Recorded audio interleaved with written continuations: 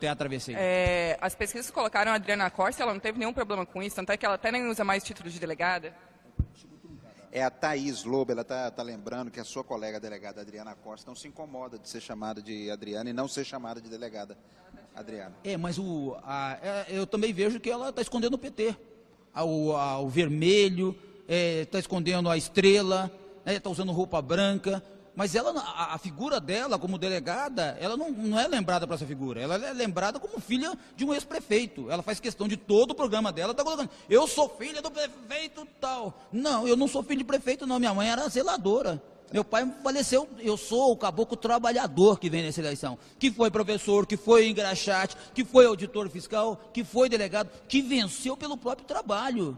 Eu não tenho a militância a candidata que você mencionou, ela tem a militância do partido, ela tem a prefeitura de Goiânia. Ela doou pro, apenas para um partido três secretarias para ter o apoio. Eu não tenho isso, mas ela esconde que ela esconde o, o, atual prefeito Paulo Garcia. Ela não lembra de, ela não lembra desse, ela não lembra desse prefeito. Ela não lembra do PT. Ela não lembra que, PM, que ela foi parceira do PMDB.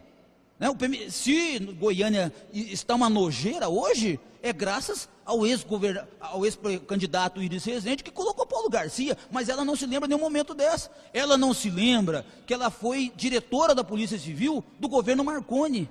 Eles, eles não se lembram que há pouco que o Marconi agora chamou, foi que ressuscitou o Iris novamente para vir para a campanha. Ela, ela não, não, não mostra o retrato dela com o Marconi agora na, na ampliação da, da, da concessão da, da, do transporte coletivo. Né? O senhor lembra do